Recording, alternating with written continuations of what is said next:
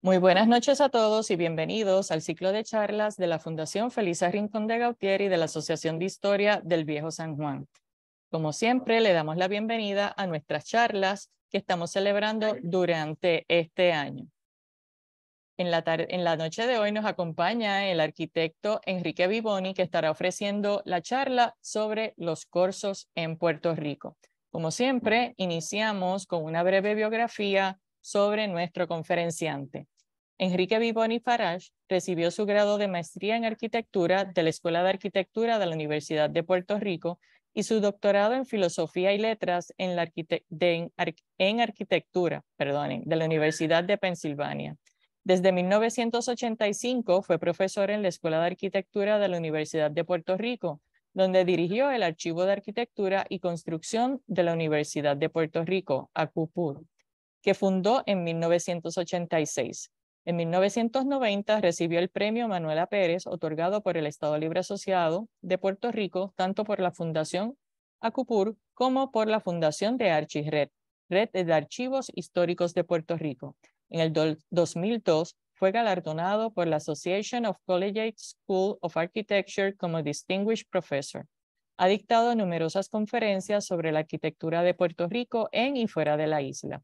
Vivoni ha, publicado varios libros junto a Marie Frances Galar Calzada, Entre Puentes, Santurce y sus transformaciones.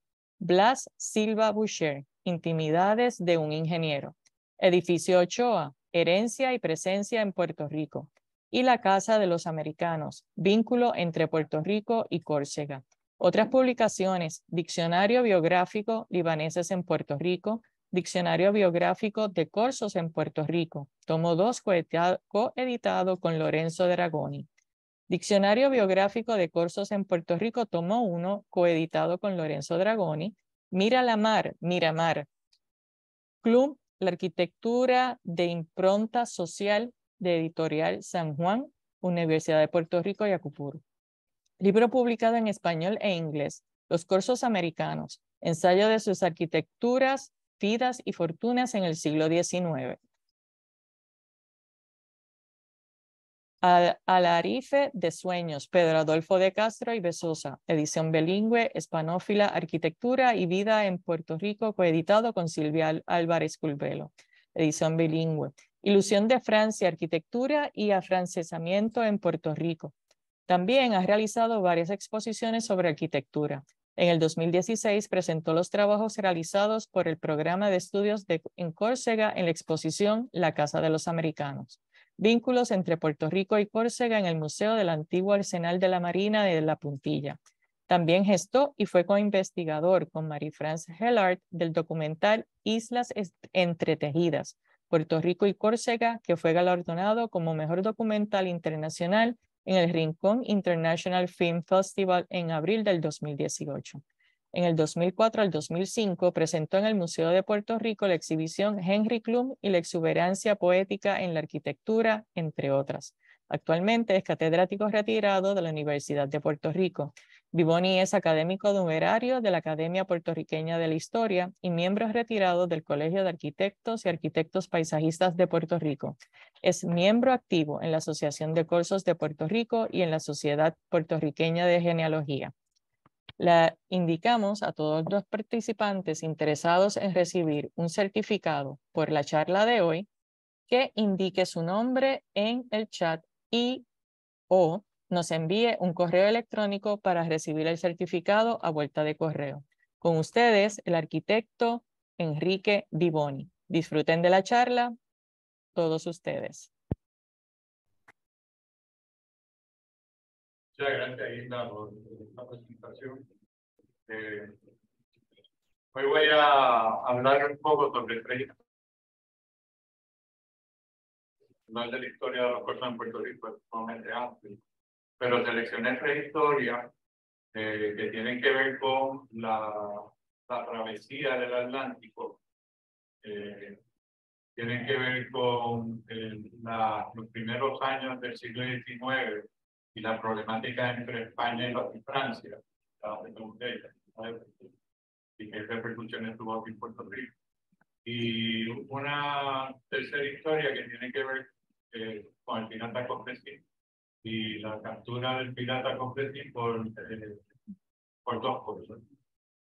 Así que eh, pueda ver la captura del pirata Cofresí por, por dos cosas. Eh, un poco para, para entrar en dos es parte hoy día de Francia. Eh, la islita que ven abajo en la parte derecha de, la pantalla, eh, no siempre fue de Francia, empezó siendo una isla francesa en el 1769. Anterior era parte del de, reino de Génova, la República de Génova, por 600 años.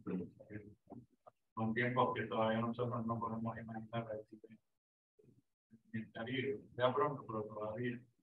Eh, y entonces, la próxima, eh, Córcega está dividida en Córcega del Norte y Córcega del Sur. Eh, en la parte de arriba de Córcega del Norte, Oxford, la Córcega Alta, eh, se encuentra el Cabo Corso. Y el Cabo Corso es donde la mayoría de los corsos que llegaron a Puerto Rico eh, hicieron su viaje eh, hacia América. ¿Por qué salieron los cursos de, de Córcega? Bueno, como todos inmigrantes estaban buscando mejor vida, algunos estaban buscando aventura, otros estaban huyendo de la guerra, eh, pero a Puerto Rico se, se han podido documentar de los mil de hombres y mujeres que llegaron a la isla desde el principio del siglo XIX y algunos hasta el del siglo XX. Escasos, pero sí llegaban. Eh, en el 1983 eh, se hizo un cálculo por la Asociación de Corsos que los descendientes de estos 2.000 corsos aquí en Puerto Rico sumaban alrededor de medio millón. Cuando yo digo esto en Córcega, abren los ojos y dicen, pues Córcega tiene una población de 300.000 y, no todos son corsos, o sea que en realidad los corsos dicen que en Córcega hay como 80 mil corsos. Así que en Puerto Rico hay muchos más descendientes de corsos que en la propia Córcega. Eh, así que es un poco ponerlo, ponerlo en perspectiva, ¿no? Eh, y entonces quiero empezar con, la, con el próximo, eh, la primera charla.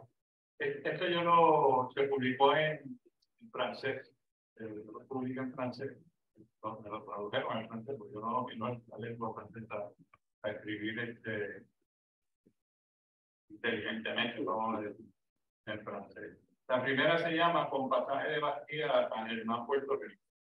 Y un poco va a hablar sobre la experiencia de un joven de 16 años que decidió en el 1856 salir de eh, su comuna natal eh, de Cisco, en Cabo Corso, y experimentar eh, la vida en América. Ya tenía familiares en América. Y voy a, a leer, porque son, en realidad son una historia, Son pocas las ocasiones que podemos ver desde los ojos de un joven de 17 años lo que implica dejar su familia, su lado, su país, para aventurarse a cruzar los pilares de Hércules y comenzar una nueva vida. Esta es una de esas ocasiones donde a través de dos cartas escritas de 1856 y 1857, el joven Pedro Santos Pimonio Battistini, ese es mi bisabuelo, relata la experiencia de dejar todo y enfrentarse a un nuevo mundo. Pedro Santos era el mayor de los seis hijos de Pedro Juan y María Juana Battistini. Nació el primero de mayo de 1840 en la aldea de Balba, Cisco.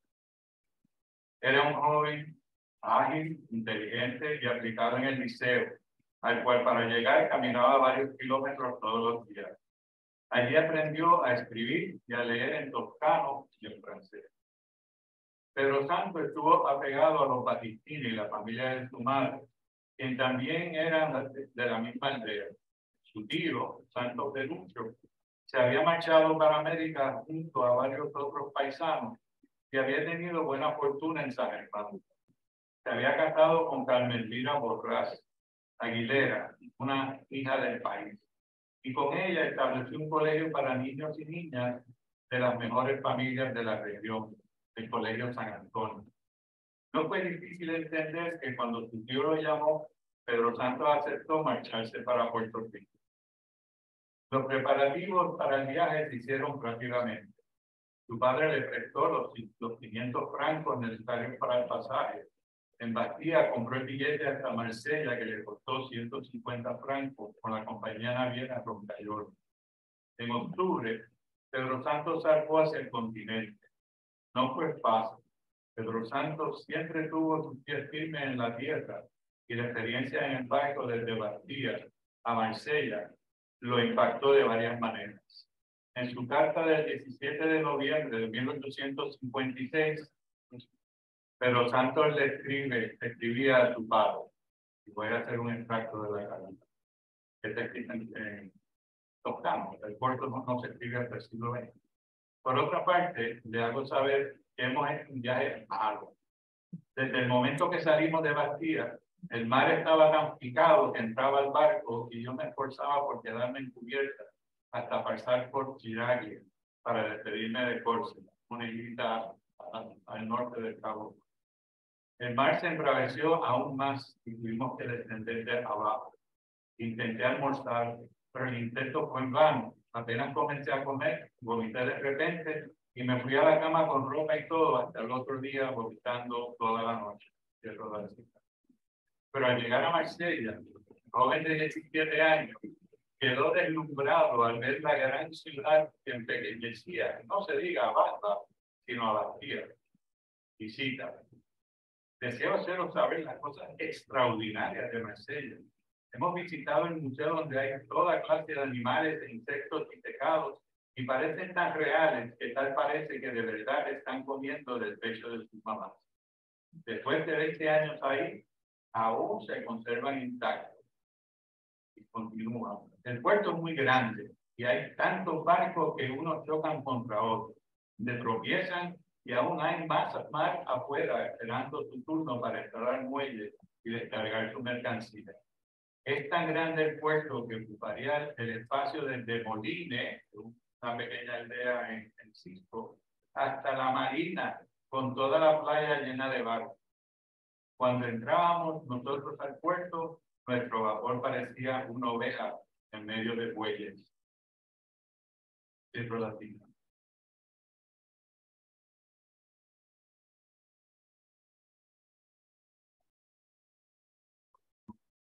Aunque maravillado con la ciudad y con la cantidad de cortos que hablaban allí, que habitaban allí, Pedro Santos saltó el 20 de noviembre hacia América. Su viaje fue plagado de vicitudes que dejaron al joven confuso y desorientado. Su pasaje hacia América lo hizo en un buque de tres palos. Salieron del Mediterráneo con buen tiempo, pero sin viento. El viaje de Marsella hasta los pilares de Hércules fue lento, pero una vez en, en alta mar, próxima. Escribe El 2 de diciembre a la medianoche pasamos por el estrecho de Gibraltar. Tan pronto entramos en el océano, nos encontramos con un violento huracán que duró cerca de 12 días, más o menos. En lugar de movernos hacia adelante, volvimos atrás y llegamos hasta el cabo Finisterre, que está al norte de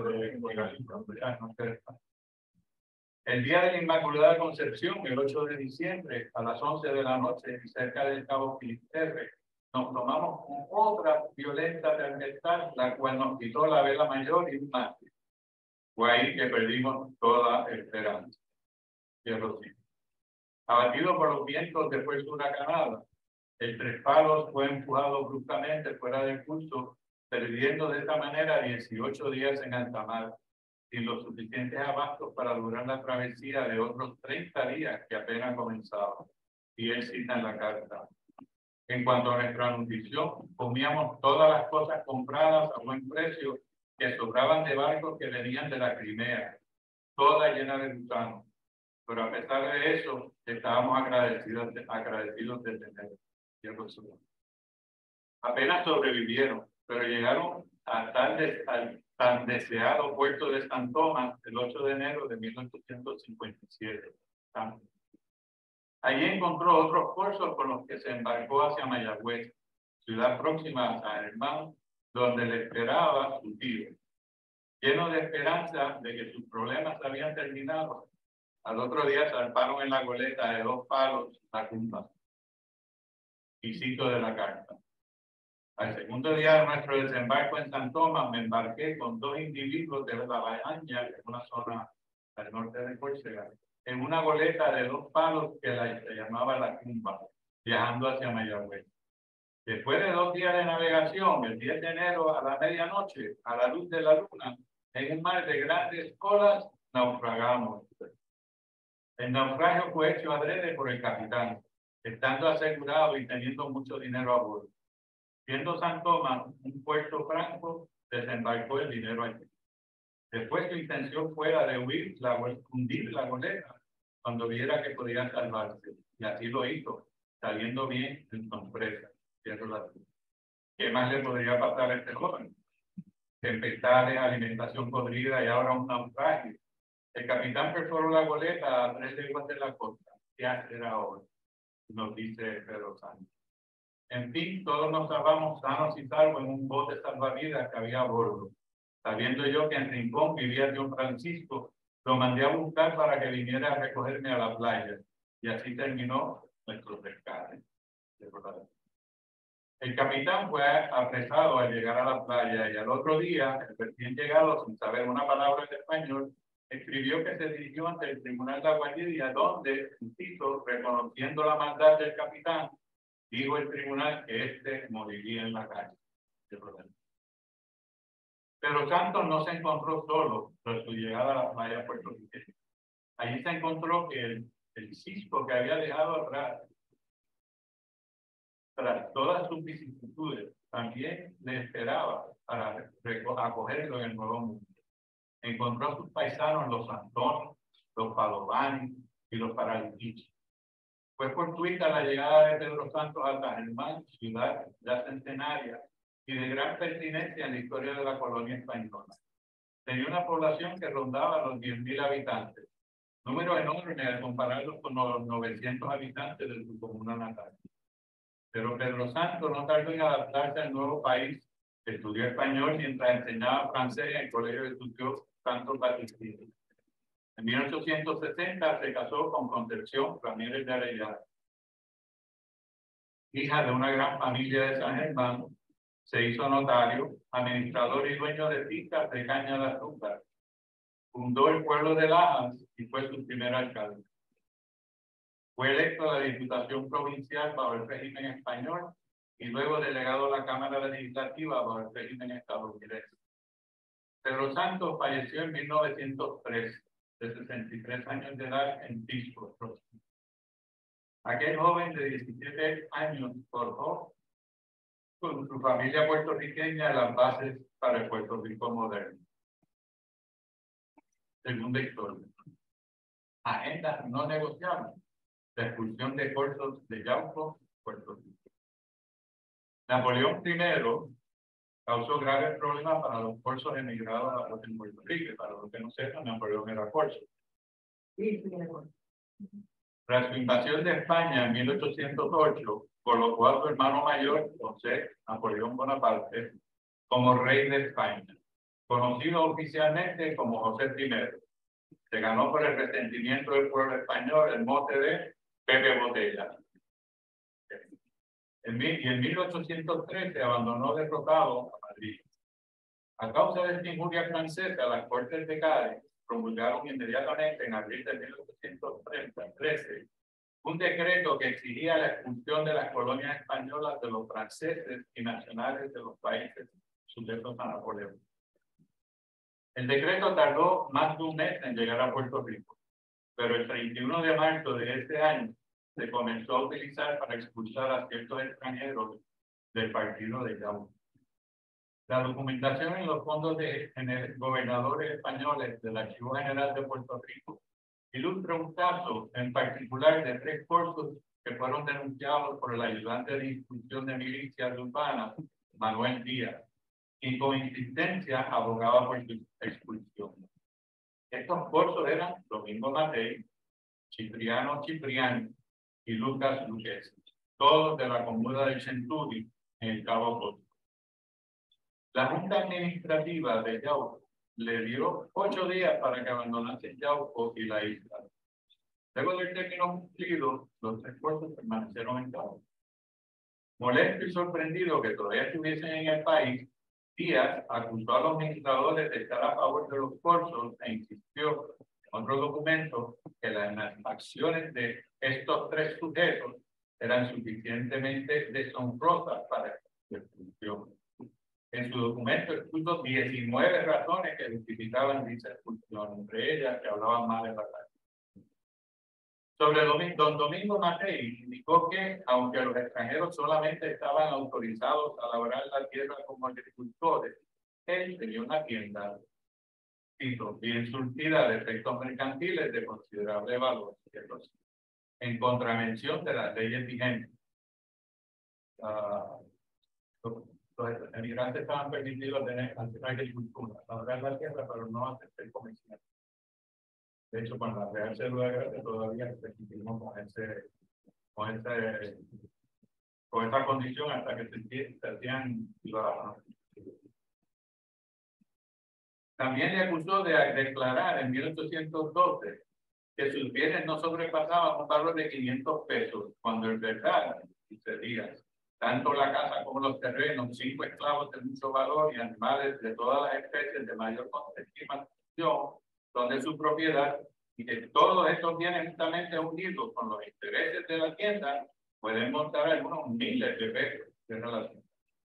De igual manera, lo acusó de contrabando que dificultaba a los vecinos el bien de extender sus frutos en disturbios, atrasos y envidias que ahora causa palpablemente la avaricia de este extranjero corto que no deja vivir al pobre y solo apetece apropiarse el pan para sí sobre Cipriano Cipriani, corso transeúnte. Lo acusaba de ser contrabandista de efectos mercantiles junto a su socio Domingo Mateo. Y sobre Lucas Luquesi, también corso transeúnte, que residía hacía cinco años en Yauco.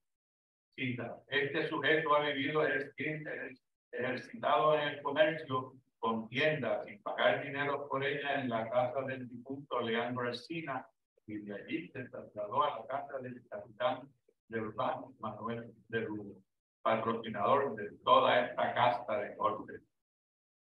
Pero la acusación más grave contra Luquesi que Martínez lanzó fue la de haber estupado y fecundado una niña de las principales familias de este partido, hija legítima de don Juan de Torres y Figueroa, sargento mayor reformado y luego asilándose en el partido de Juan de ¿Quiénes eran estos tres cursos que tanta influencia ejercían sobre las principales familias de Yauco? El caso de Domingo Matei es diferente a los otros dos pueblos. Él nació en la aldea de Ortino, la, comuna de Centuri, el 31 de enero de 1783. Emigró a Puerto Rico a los 20 años y se estableció en Yauco.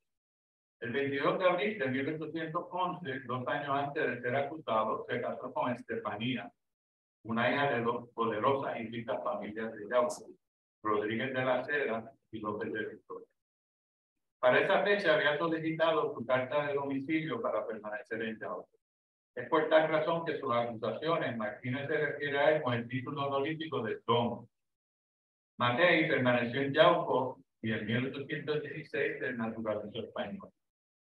Ese mismo año llegó su hermano Félix Antonio y su hermano menor Miguel. Domingo Matei llevaba también el título de conde, que heredó de su padre y que pasó a su hijo Pablo José. Matei generó gran fortuna en Yauco debido al cultivo del café y en su aldea natal construyó entre 1830 y 1840 su casa de los americanos para su retorno. En 1866 estuvo de vuelta en Córcega para la sepultura de su hijo Pablo José en Tomín, una comuna en Cabo Corto, en cuyo monumento funerario se lee lo siguiente citas. Ah, estas son las tres casas de, de las casas americanas. La de arriba es la de Matei, la del medio es la de Luque y la de abajo es la de Chistiano. En este monumento que está en la cima de una colina, eh, se cita lo siguiente, está escrito en latín, En este solitario pero santo lugar al lado de los restos de su querida prima y primera esposa, Angela de Tomino, de sus dos pequeños tíos, Juan y Domingo, de su suegro y suegra, y de un tío paterno, que los amó como ellos a él. Consolado con el llanto de un padre y una hija, de cuatro hermanos y una hermana que le sobreviven, descansan las cenizas del conde Pablo José Mateo, natural de Guayanilla, en la isla de Puerto Rico. Fueron sus padres el conde Domingo, noble romano, francés y toscano, natural de la vecina Centur, y doña Estefanía Rodríguez de Puerto Rico. Nació con el don de hacerse amar. El día 2 de diciembre de 1814 y fue sepultado y en la madrugada del primero de noviembre de 1800, bueno, nació el 14 y fue sepultado en la madrugada del primero de noviembre de 1876. El genio que le distinguía como poeta y con gran dolor dejó a su padre y a su hija Estefanía, a sus hermanos y sus cuñados a sus parientes y amigos, el recuerdo indeleble de su incomparable corazón y por otra parte el recuerdo de una vida honesta. Vivió muchos años en Tomil, la población afligida lo acompañó a su tumba orar por él y cierro la cita. Así que este es un monumento dedicado a un puertorriqueño que se, trasladó a Tomil y ahí tuvo su vida como el conde, el conde Pablo Manuel. Domingo Matei, después de esta ceremonia, regresó a Puerto Rico, donde descansa sus restos y permanecen muchos descendientes. Se le reconoce como el padre de la colonia Corsa en Gao. Por su parte, Cipriano Cipriani nació el 8 de febrero de 1792 en la misma aldea de Orquínola. Se casó con Encenturi, con María Amelia Caraccioli, y ambos emigraron a Puerto Rico. Tuvieron varios hijos, de los cuales siete sobrevivieron. Aunque Domingo Matei permaneció en Yauques, Cipriano decidió buscar fortuna en otro lugar y luego de viajar por las Antillas se estableció en Trinidad en 1820. Adquirió un número de haciendas, una de ellas llamada Fortínola, como su aldea de procedencia. Se dedicó al cultivo de la caña de azúcar, del cacao y del café. Falleció en Trinidad en 1862. Lucas Lucchesi, tengo imagen, también era de Orquínola. Nació en 1790 y emigró alrededor de 1870. Después del incidente de 1813, se trasladó a Barranquita, donde en 1820 era propietario de una casa. En 1824 pagó contribuciones en San Isabel y en 1830 residía en Guanadía, donde consiguió su carta de naturaleza.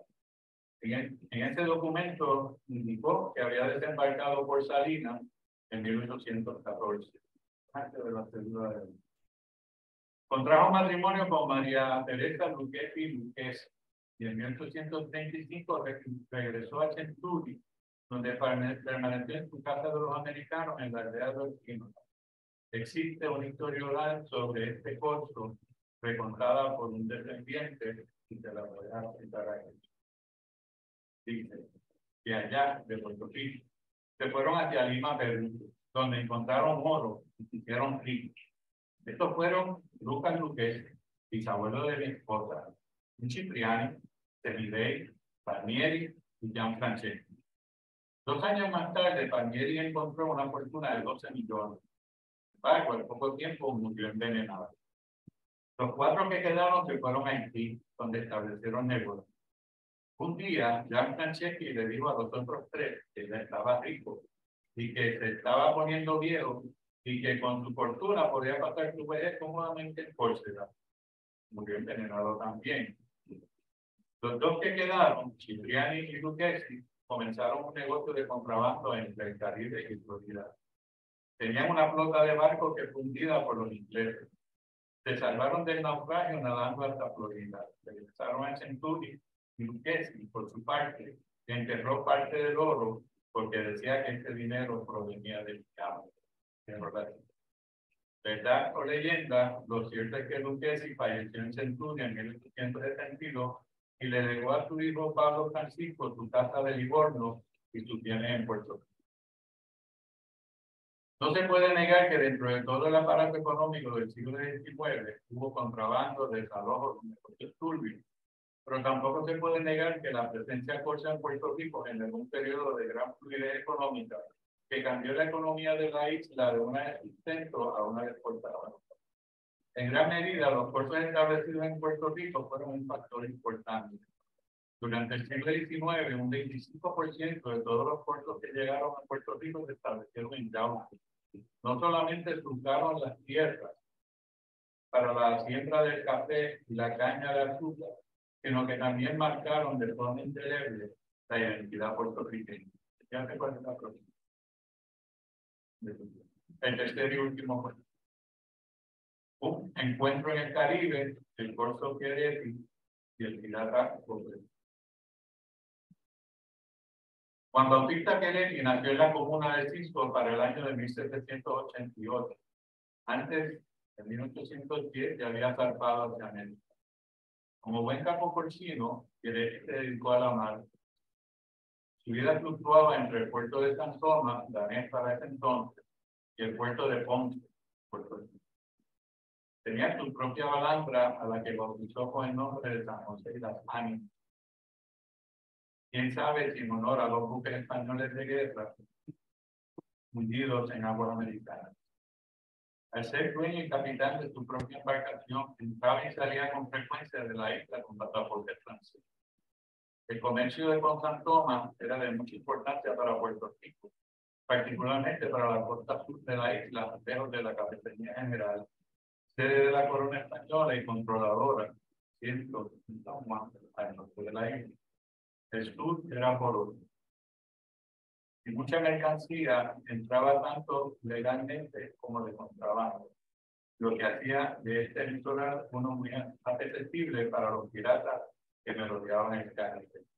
Y este mapa, lo que está mostrando, los tonalidades de grises son cantidades de puertos que se asentaron en los distintos municipios. Los más oscuros, pues la mayor cantidad. De hecho, en, en Yauco gente ya lo comenté, el 25% de los que, lo, que llegaron a Puerto Rico se asentaron en Yauco. El 15 o 20% en San Germán.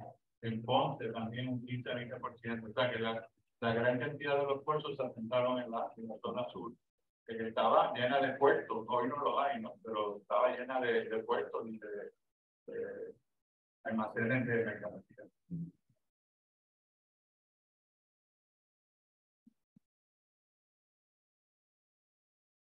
Al cruzar el Atlántico, los buques franceses se detenían en la isla de San Tomás y dejaban sus mercancías en circulación. Boletas y balanzas como la del Thierry y del Corso Vicente Antonetti, la Setena, servían de transportación confiable para los puertos que se han llegado a América hacia un puerto puertorriqueño. Interesante porque una de las condiciones de la, de la Real Cédula de Gracia era que el, el extranjero que llegara a Puerto Rico tenía que tener junio, ¿verdad? Muchos de estos cursos llegaban de Córcega y nada, pasajes que pagaron. Y entonces estos cursos los contrataban como marineros de San Tomás a Puerto Rico y le daban este sueldo y con este sueldo demostraban a las autoridades que tenían para poder Las otras condiciones que tenían que ser católicos, la corona española, y eso pues eh, lo garantizaban testimonio de otros cursos o hasta de bautismales que traían. Muchos decían que la religión es más bautismo, pero tengo estos testigos que van a decir que está Entonces, Pieretti sentó cabeza y también fue comerciante de oficio que ha tenido casa con almacén y tienda abierta, diseminado sus intereses como este cree este y con crédito en tanto Sin embargo, mantuvo su balanza en marzo de 1825. Mientras hacía negocios en el puerto de Ponce, notó que pasó cerca de la boleta Ana, que pertenecía al pirata Confesivo. Aquí vale la pena identificar este pirata, todos sabemos. El pirata y cuyo nombre completo es Roberto Van Ramírez de Arellano, nació en Cabo Rojo, al suroeste de la isla de Puerto Rico. Su fama era leyenda en Puerto Rico. Algunos alegaban que robaba, robaba para darle a los pobres. Sin embargo, Las autoridades españolas y las estadounidenses habían acordado atraparlo. El historiador Cayetano Colito, eh, las interpretaciones que ejercían estos piratas en aguas del Atlántico intercolonial, en el Mar Caribe, tenían en continua alarma el hecho de todas las islas de la archipiélago guantillana.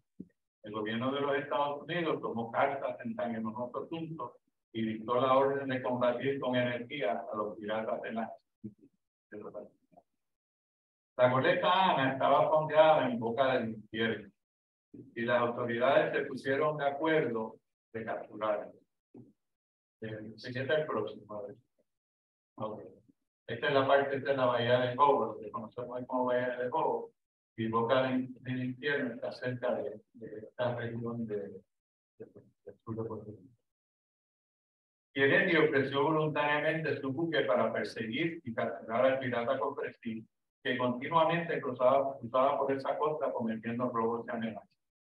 La balandra de Pieretti fue modificada con un cañón y se embarcaron Pieretti, el capitán americano, sus segundos y terceros, y 23 marineros estadounidenses eh, armados.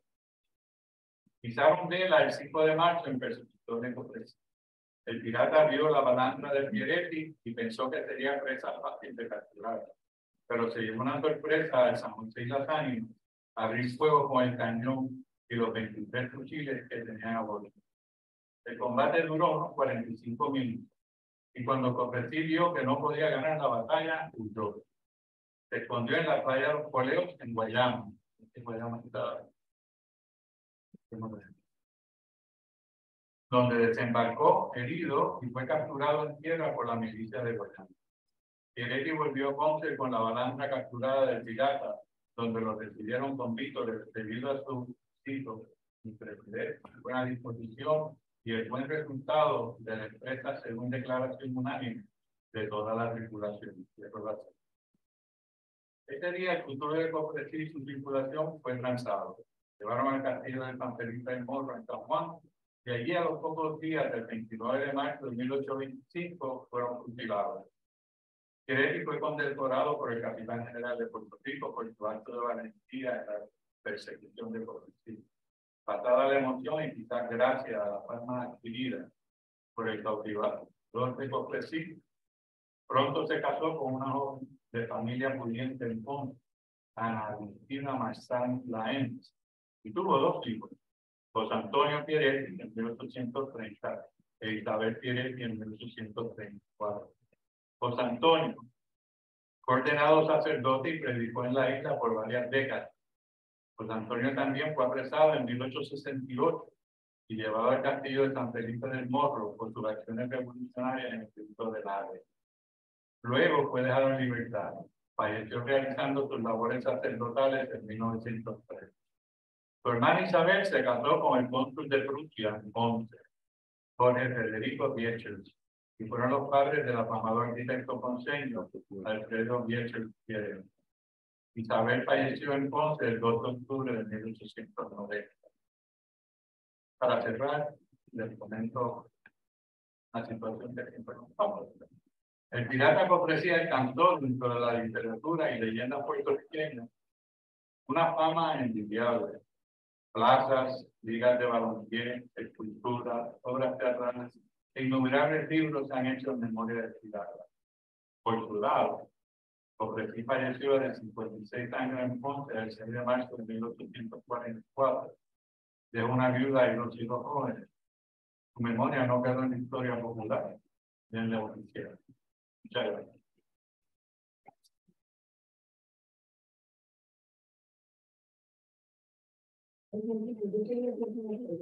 Digo usted.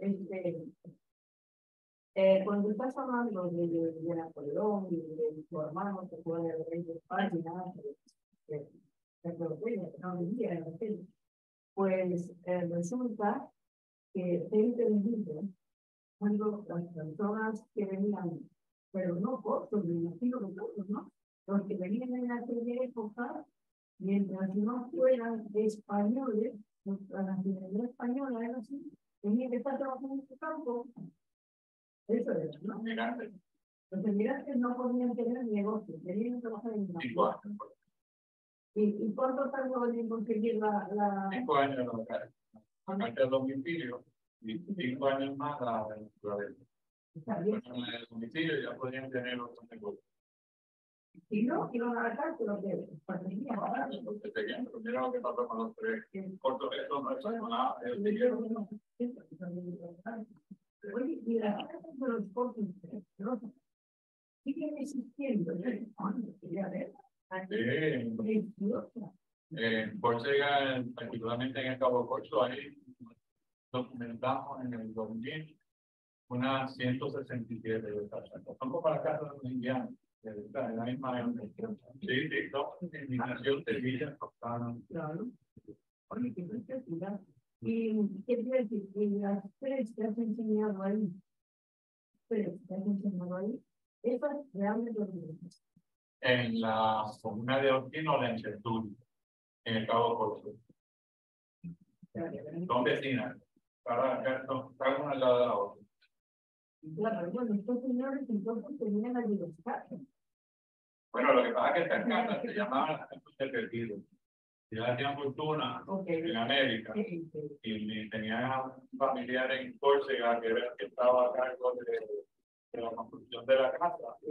Y mientras la, el, el que construía la casa no vive en Córcega, familiares vivían en la casa. Es una casa interesante donde la escalera independiza cada piso. O sea que cada piso podría estar en manos de un de primos, de primos o de fuera. como si tuvieran un condominio independiente, quizás compartían las cocinas y espacios más, pero era así. De hecho, tan así es que cuando los puertorriqueños dejaron, los cortos puertorriqueños dejaron de ir, este es el corso dueño de estas partes, dejaron de ir a Córcega, quizás hace 70 años, 50 años, 100 años atrás, pues los parientes se quedaron la entonces ahora los que tienen interés, ah, no, esa cosa que la hizo mi bisabuelo, pues ah, hace 100 años que, que ustedes no vienen para acá, nosotros la hemos estado cuidando, pagando los impuestos.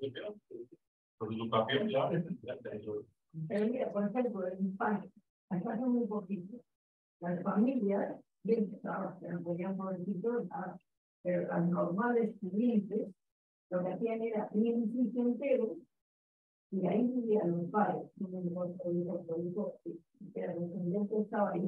Bueno, pues lo que pasa es que estas son casas en, la, en, en las aldeas. En Córcega, en Córcega hay eh, 365 comunas, municipios. Hay 365 alcaldes. De una isla que es el mismo tamaño que Puerto Rico. Y tiene una décima parte de la población de Puerto Rico. Quiere decir que las aldeas, estamos hablando que hay aldeas que puedan tener las grandes como 5 o 900 personas. La- Las más pequeñas, 25 personas. Hay un alcalde. Entonces, estas son las casas que usualmente estos cursos que hicieron dinero se van de verano. Sí. Pero en la ciudad, en Bastilla, por ejemplo, muchos de estos cursos, por ejemplo, el Vicente Antonetti construye su casa urbana, que es para de cuatro o cinco pisos, pero es urbana. Y así también los y de Carla Payel en Arroyo. Ellos construyen una, un edificio inmenso en el frente de la plaza de San Nicolás.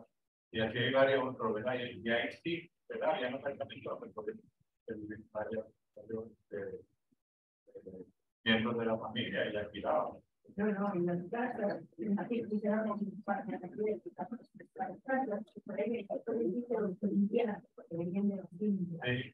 Y me imagino que los otros, que eran las cuatro cintas, pues, hacer unas casas que les llevaban bar, sí. y sí. Sí. Eh, en, nosotros cuando hicimos el trabajo de la Casa Americana, yo, nosotros estuvimos llevando en la Escuela de Arquitectura por seis veranos este, y por tres meses cada verano llevamos estudiantes de la Escuela de Arquitectura para documentar el caso, el Cabo.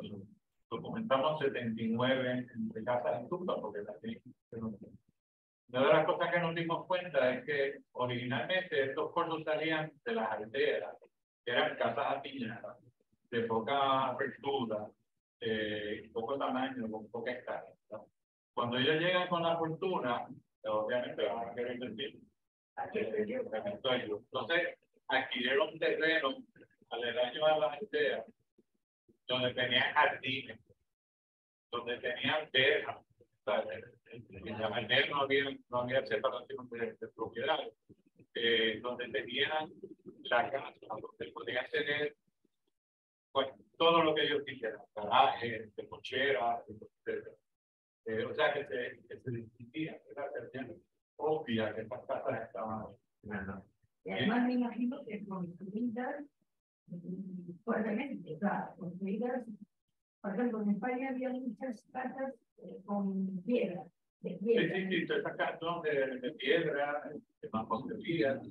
Eh, son casas que, por ejemplo, las aldeas, la, la, la casa no están empañetadas en las casas americanas eso era un signo de, de, que estaban empañetadas y pintadas. Eh, eh, tenían muchas ventanas, porque en Francia había una ley que había un impuesto sobre el número de ventanas y número de puertas que daban al exterior, porque la, la ventilación y la luz solar eran del Estado. Mientras más tú entrabas dentro de tu casa, con el número de ventanas y puertas, tenías un impuesto sobre todo. O sea, que tener ventanas, muchas ventanas, era otro indicador de que tenían mucho dinero. Lo otro que estos cursos hicieron, que es parte de este conjunto americano, eran sus tumbas privadas, solares privados a lo largo de la carretera.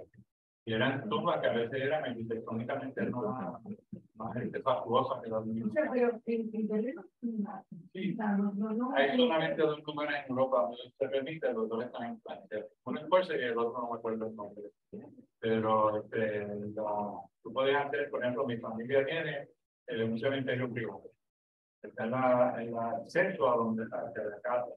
Porque ellos decían cada vez que yo paso por ahí, yo recuerdo hacia donde voy.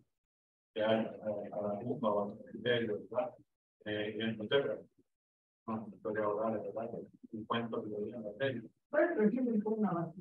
Sí, entonces eh, siempre. Bueno, mi bisabuelo murió en Córcega. Este, y fue, ¿Tu bisabuelo volvió a casa?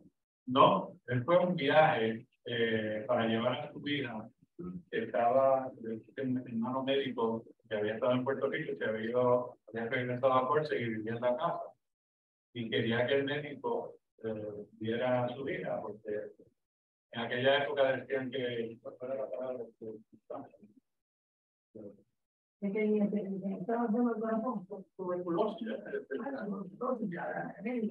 y, y entonces, ¿qué pasa? Que la hija escribía las firmas que la y decía, antes de salir para América, mi, papá, mi papá va porque lo vio mal de salud, o sea que él también estaba mal de salud.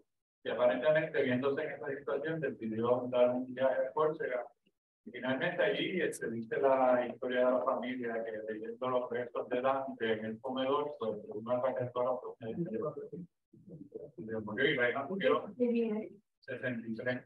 Reina murió 63, pero la esposa murió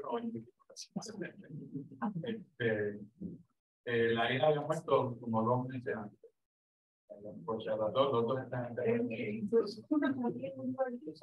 No, la esposa de él regresa, estaban allá obviamente, regresa a San Germán, eh, todo se queda como la heredera de, los bienes allá en Córcega.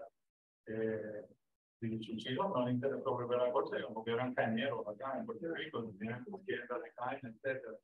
Así que la, la casa pasó a unos primos hermanos eh, que sí le interesaba casa y lo que son ahora los Oye, ¿sabes una cosa interesante que acabo de decir?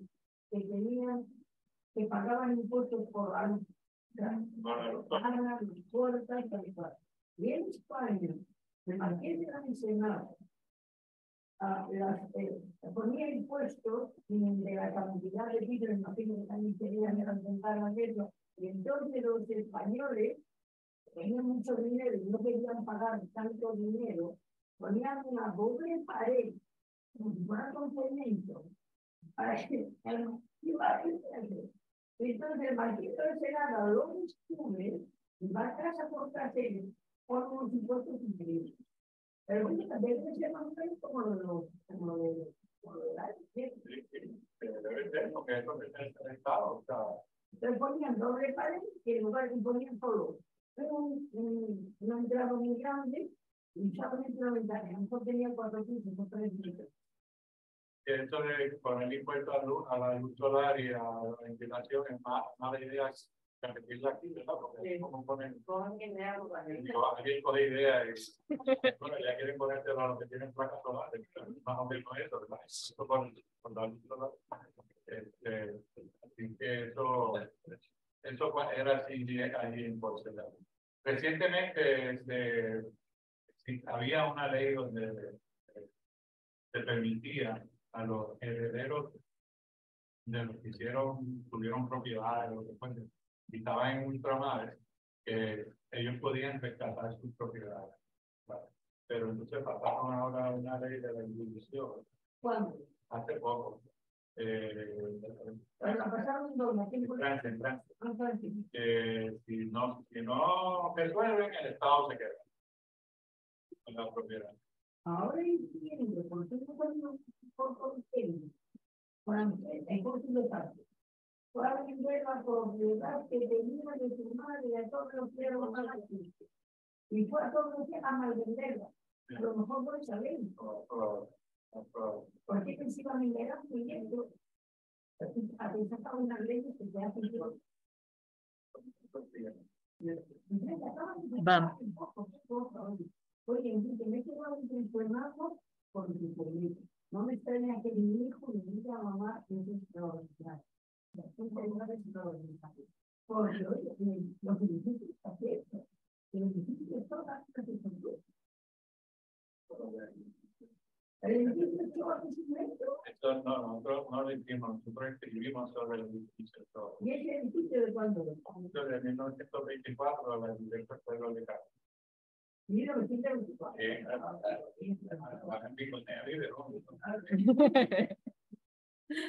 Pasamos a las preguntas que tenemos en Zoom Sí. Y en Facebook. Una de ellas dice, ¿los corsos ayudaron que la arquitectura de inspiración francesa e italiana se hiciera popular en Puerto Rico?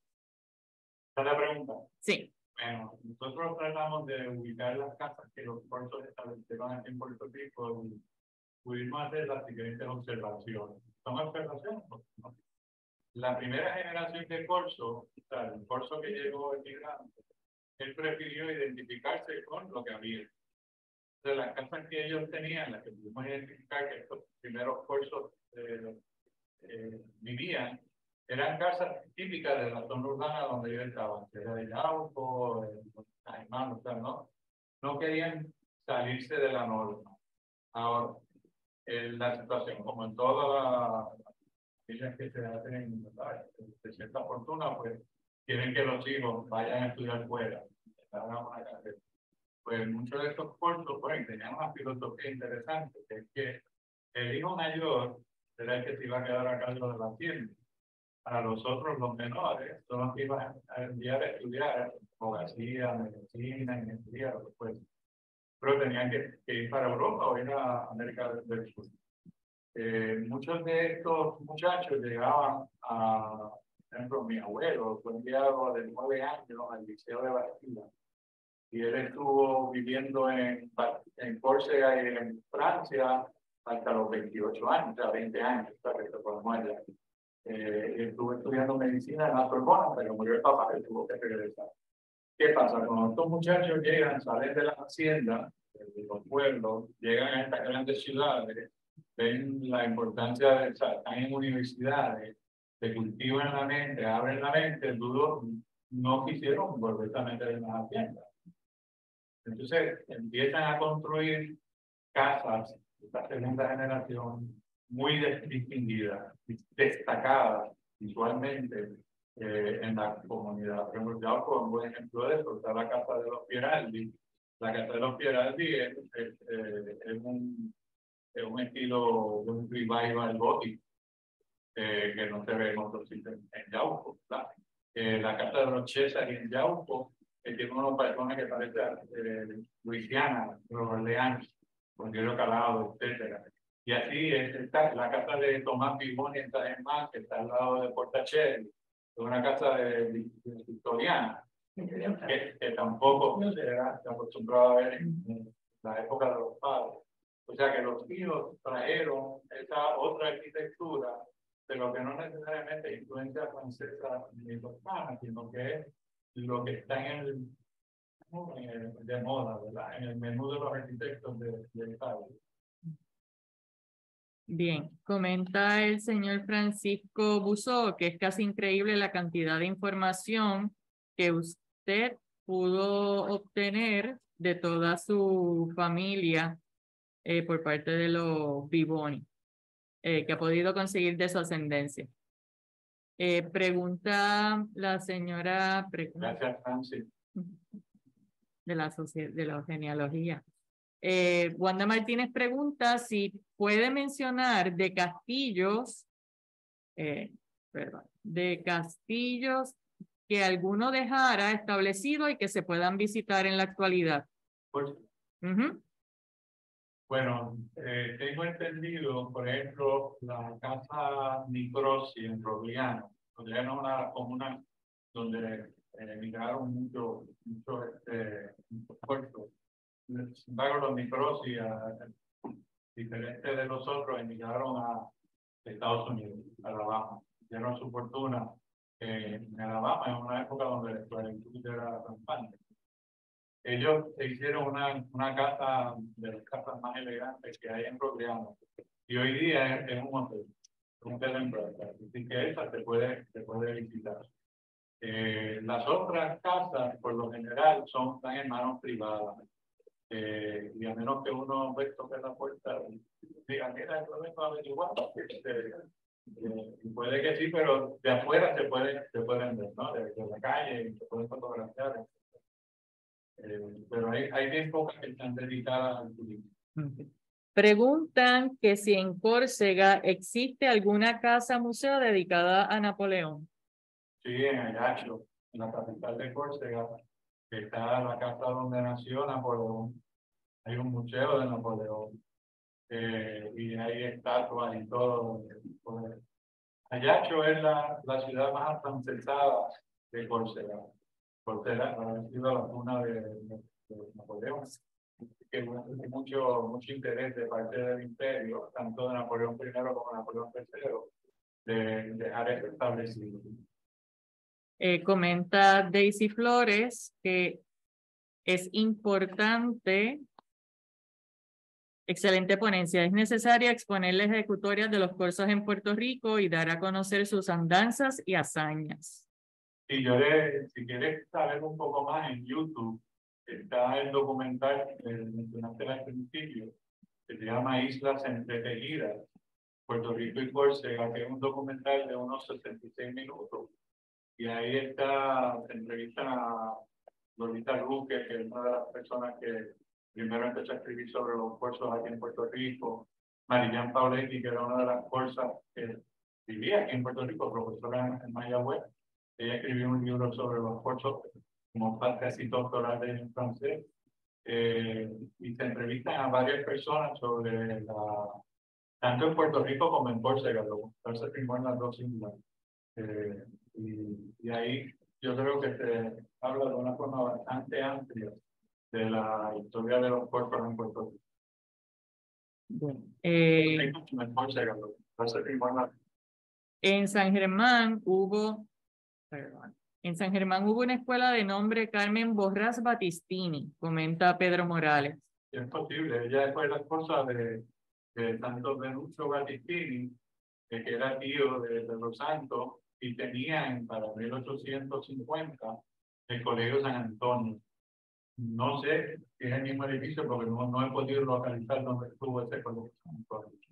Pero me imagino ella se fue educadora reconocida en San Germán. Me imagino que habría una escuela con su nombre. Preguntan qué eh, comentario que hacen es el siguiente. Demos un minutito. Es una pregunta en Facebook sobre entrada de cursos por el área de Rincón, si es eh, que entraron cinco familias por el sector Córcega, que si es correcto. En el sector de Rincón que se llama, el sector Córcega, se llama tipo que ahí estuvo la familia Rapucci. Y los mismos Rapucci montó una central azucarera eh, que se llamaba La Córcega. Eh, y está, ya queda la, la propiedad, etcétera, la central ya no existe, pero existen casas que, que pertenecen a él. Y entonces también alrededor de, esta central se urbanizó y el que urbanizó en el siglo XX le puso nombre de pueblos de Córcega a las calles. Eh, un comentario que hace Marillán Barbetti en, el, en el documental es que los nombres que seleccionaron son nombres de la Malaña, más al sur, no del Cabo Corso, que es donde estos corsos llegaron. O sea, que, que lo hizo, pues, encontraría los nombres bonitos y de los cultos. Eh, añaden en el comentario en Facebook que sí existe una casa en Rincón, haciendo referencia al comentario que hizo el señor Antonio Dajer. Sí. Así que, como siempre en Facebook se tarda un poquito más en escribir los comentarios y llegar, aprovecho el momento para dejarles saber que el próximo jueves tendremos la reposición de la charla que no se pudo dar el jueves pasado, Arquitectura, Paisaje y Gastronomía, parte 3, por el arquitecto José Silvestre. Va a ser presencial aquí en la Casa Museo, obviamente, y virtual también.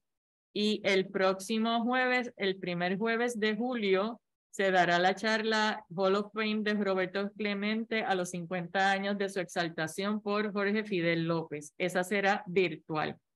Así que vamos a verificar en... Le envían saludos de parte de las personas de Isla Caribe que nos siguen, que ellos dan los recorridos por el área de Ponce. Demasiado interesante la charla. Muchísimas gracias. Así que verificamos si tenemos alguna otra pregunta en comentario.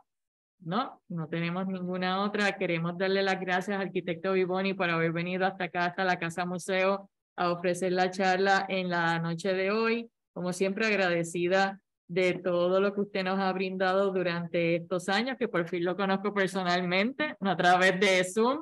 A los que nos acompañan aquí en la Casa Museo, gracias por estar con nosotros. A los que nos acompañaron por Zoom y por Facebook, Gracias y nos vemos el próximo jueves a las 7 de la noche. Gracias y buenas noches.